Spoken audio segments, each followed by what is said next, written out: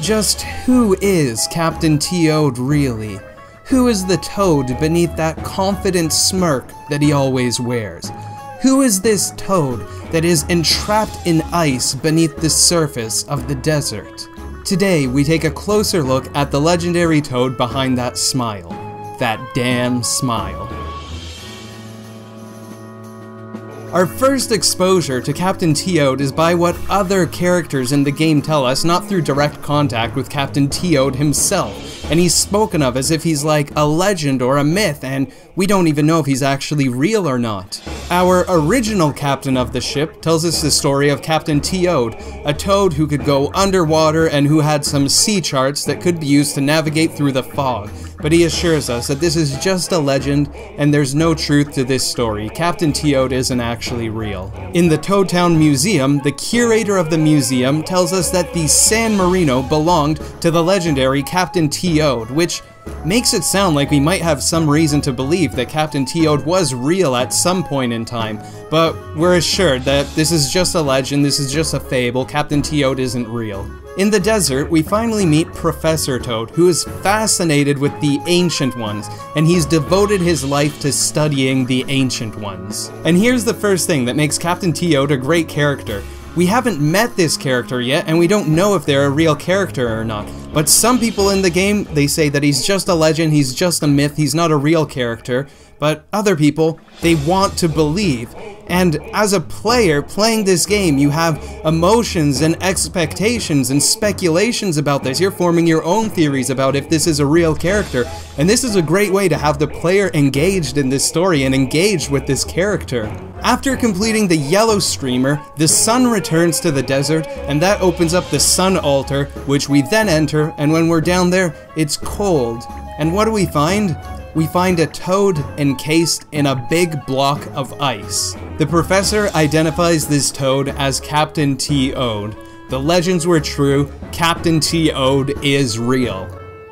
After we thaw Captain Toad, one interesting feature about him is that the text in his dialogue box shows up in italics, and he also speaks in an interesting way, which is noted by characters in the story. We have Professor Toad saying that he speaks the same language as us kind of. And towards the end, Olivia also notes that she could barely understand anything that Captain Toad was saying. This makes you wonder how long was this toad frozen here for that he speaks differently? This would be like if we thawed the legendary Shakespeare and we realized that he spoke the same language as us. Kind of. And Captain Toad does speak pretty poetically. One of his first lines in the game after being thawed is, Burn ye not paper with fire, lest ye yourself become singed. I thought this might be a reference to Fahrenheit 451 or a Shakespeare reference at first, so I did a bit of digging on this quote, and this is even similar to some Metallica lyrics as we can see. Anyways, Professor Toad is so excited to finally come across a real live ancient one that he could hardly contain himself. This is what his life's goal is. His life's goal is devoted to researching these ancient ones, and he finally came across a real live ancient one, and he can choose to ask them anything for his research. So what does he choose to ask him? He asks him how he has his coffee. Captain Toad is one of the ancient ones. He has his legendary submarine in a museum. He has sea charts that captains wished were real, and a bunch of people in the world don't even know if he's real or if he's just a legend. And there's a lot of light-hearted humor in the game like this, where you'd expect a more serious question, but instead, the professor chooses to ask him something as trivial as how he likes his coffee. But wait, how did Captain Toad get frozen in the first place? The rest of the game goes by pretty normally. When we get to the museum, we find that Captain Toad has snuck into the Marino, we attach the submarine to our ship, we explore the Great Sea, and the game seems to be going by normally. But, big but, it isn't until we climb the sea tower and get into the clouds of Shangri Spa that we can start to learn some more about Captain Toad and his backstory that we didn't know about. You'll notice in the main room of the Shangri Spa entrance that there is a miniature model of the Super Marino, and if you go and talk to that toad there, he'll be happy to share with you the history of the Super Marino. It turns out that the Spa Marino, as it's really called, was once stolen by Captain T. Ode. Captain T. Ode, as a ransom, wanted the crown of King Shroomses in exchange for the submarine. The king didn't like that, so he had Captain T. Ode captured and frozen in a block of ice. So now we know how Captain T. Ode got there. The Origami King is a game where there's a lot of charm in the little things and the little details in this game, secrets that you could find by exploring the world and talking to characters. And Captain T. Ode fits in perfectly with this theme. He's not a character that has a lot of dialogue, and he doesn't play a major role in the story, but by exploring the world and talking with different characters, there are all these little secrets and backstories that you could find out about him that bring him to life. What's most fascinating about Captain T. To me is that despite his humorous backstory, is actually a deep commentary on society. It shows us just how far confidence goes.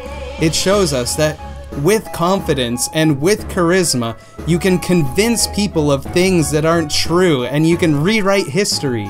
And that's kind of scary. By calling yourself great and acting like you're great and making large demands, you could convince people that you are great. You could convince people of things that aren't true. And we see that with Captain T. Ode. What did he do? He has the world convinced that the Super Marino belongs to him, even though it originally belonged to the Spa.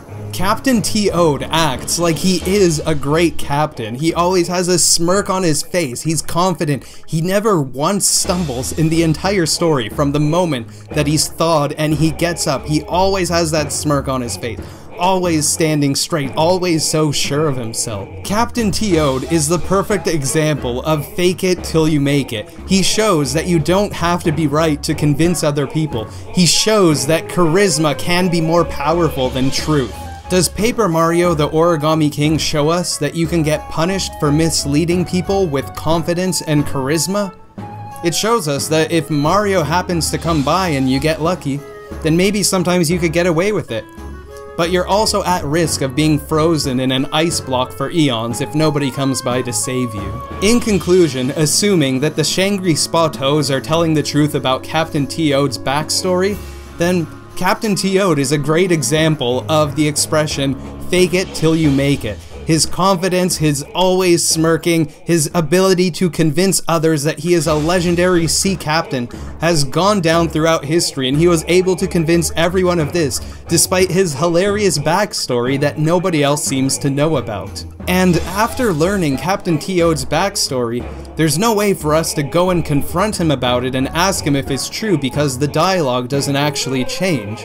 So I want to ask you all, let me know in a comment below, what do you think would happen if we were able to confront Captain T. Ode, if we were able to ask him, is this story that the Shangri Spa Toads are saying true?